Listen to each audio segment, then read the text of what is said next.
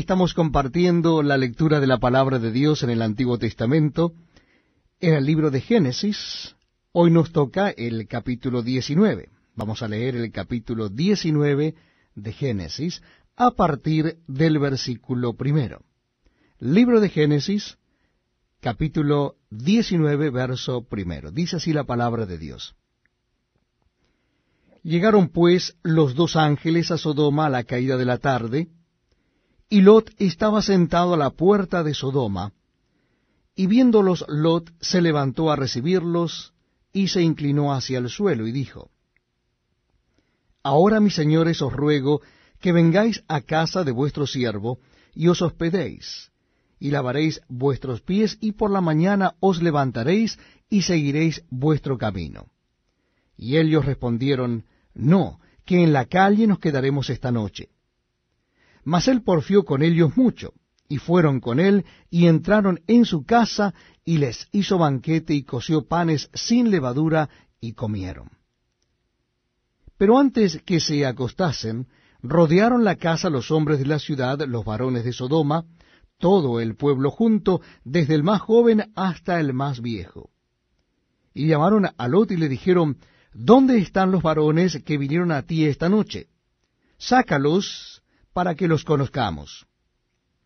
Entonces Lot salió a ellos a la puerta y cerró la puerta tras sí y dijo, Os ruego, hermanos míos, que no hagáis tal mal.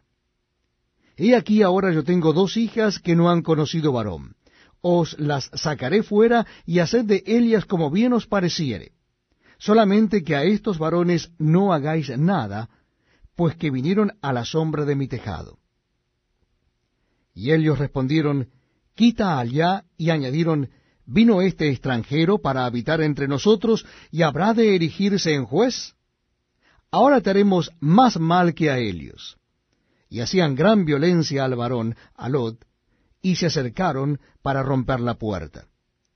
Entonces los varones alargaron la mano y metieron a Lot en casa con ellos y cerraron la puerta y a los hombres que estaban a la puerta de la casa hirieron con ceguera desde el menor hasta el mayor, de manera que se fatigaban buscando la puerta.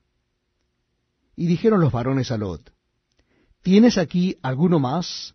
Yernos y tus hijos y tus hijas y todo lo que tienes en la ciudad, sácalo de este lugar, porque vamos a destruir este lugar, por cuanto el clamor contra ellos ha subido de punto delante de Jehová. Por tanto, Jehová nos ha enviado para destruirlo. Entonces salió Lot y habló a sus yernos, los que habían de tomar sus hijas, y les dijo, Levantaos, salid de este lugar, porque Jehová va a destruir esta ciudad. Mas pareció a sus yernos como que se burlaba. Y al rayar el alba, los ángeles daban prisa a Lot diciendo, levántate, toma tu mujer y tus dos hijas que se hallan aquí, para que no perezcas en el castigo de la ciudad.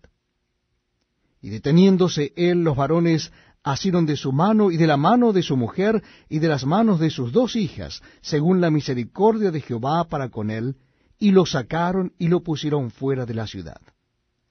Y cuando los hubieron llevado fuera, dijeron, escapa por tu vida no mire tras ti, ni pares en toda esta llanura, escapa al monte, no sea que perezcas. Pero Lot les dijo, No, yo os ruego, señores míos, he aquí ahora ha hallado vuestro siervo gracia en vuestros ojos, y habéis engrandecido vuestra misericordia que habéis hecho conmigo, dándome la vida. Mas yo no podré escapar al monte, no sea que me alcance el mal y muera. He aquí ahora esta ciudad está cerca para huir allá, la cual es pequeña. Dejadme escapar ahora allá. ¿No es ella pequeña? Y salvaré mi vida. Y la respondió, He aquí he recibido también tu súplica sobre esto, y no destruiré la ciudad de que has hablado. Date prisa, y escápate allá, porque nada podré hacer hasta que hayas llegado allí. Por eso fue llamado el nombre de la ciudad Soar. El sol salía sobre la tierra cuando Lot llegó a Soar.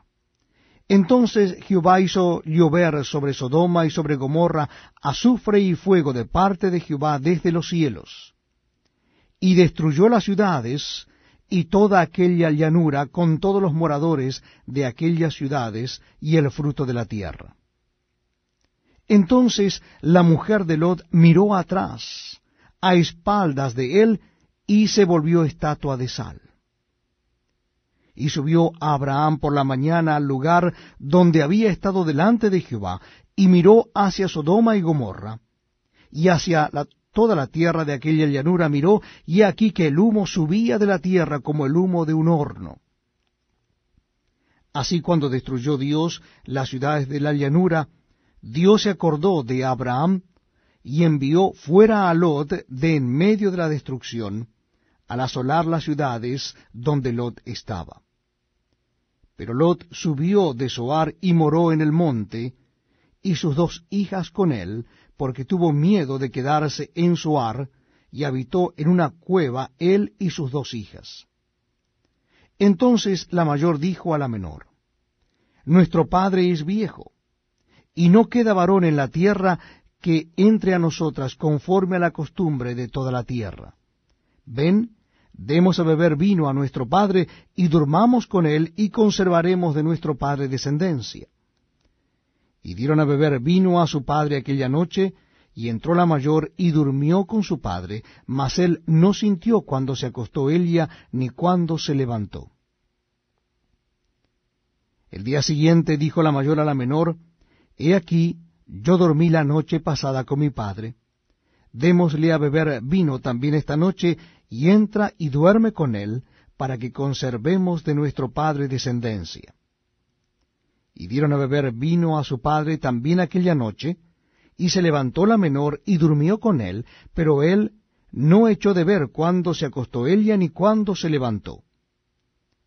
Y las dos hijas de Lot concibieron de su padre y dio a luz la mayor un hijo y llamó su nombre Moab, el cual es padre de los moabitas hasta hoy. La menor también dio a luz un hijo y llamó su nombre Ben-Ami, el cual es padre de los amonitas.